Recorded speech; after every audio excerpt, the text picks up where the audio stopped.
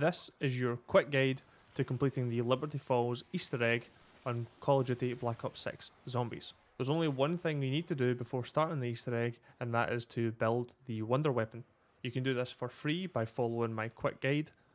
I will link it on screen in the top corner, and it'll be the first link in the description.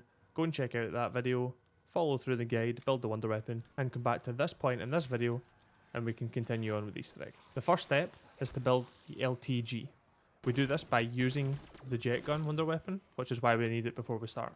To get your first part, head into the church and interact with the Dark Aether canister machine that's on the right hand side.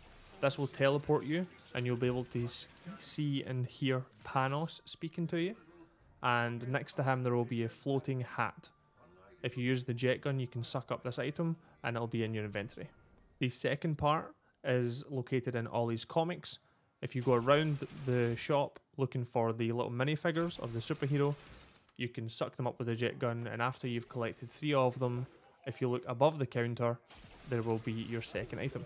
Suck it up using a jet gun, and actually got part two. The third and final part is a little bit more tricky.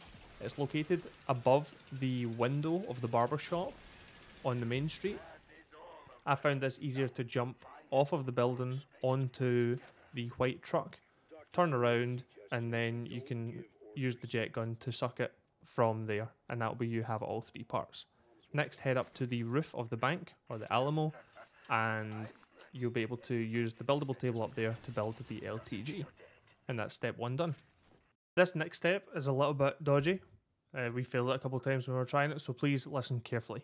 Head back into the church and grab one of the Aether canisters from the Aether canister machine that you interacted with before speaking to Panos. You can't run when you're carrying this, so be careful if there are zombies around. Take this down the street and place it next to where the Aether trap would be on the street. It needs to be within the vicinity of the purple ring that would spawn when you activate the trap and place it down next or within that vicinity. Then you can head up to the cemetery and place down the LTG underneath the purple cloud. This will spawn a portal and zombies will start to attack it. Defend the portal and an abomination will spawn. This is the high value target. It's red and it looks different from other abominations, so you know that this one is the the main guy. I recommend having health bars on for this. If you damage him enough, you can take him down to the Dark Aether trap, activate the trap, and kill him while he's standing in the trap. You will see his soul go into the canister, then, very quickly, grab the canister, run back to the church, and place the canister back into the canister machine where you got it from. Doing this will open a drawer on the machine itself, and you'll be able to collect the Strauss device. Grab that device, and we are ready to move on to the next step. The next step involves interacting with three scanners around the map. The first one is on the grass in between Liberty Lanes and the church. The second one is next to the White House, where you open up the garden shed to get the wonder weapon piece. And the third one is on the roof of the ice cream shop that you jump down onto from the roof of the bank. Your Strauss device will show three different colours. It will be green, yellow, or red, and you need to interact with the scanner to make it the appropriate colour. If the Strauss device shows green, then you need to change the scanner to show red. If the Strauss device is yellow, then you set the scanner to yellow and if the Strauss device is red, you set the scanner to green. Once you've done this correctly, three lasers will shoot out and they'll head down towards the petrol station where you spawn, and it will unlock the Dark Aether canister, which is located next to the petrol station, and we can repeat the previous step in a new location. We have a new Dark Aether canister.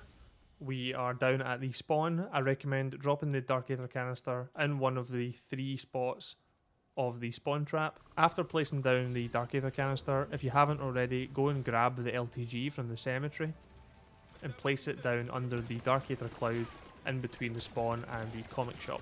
This will repeat the process that we've done before, except you will now have a red mangler.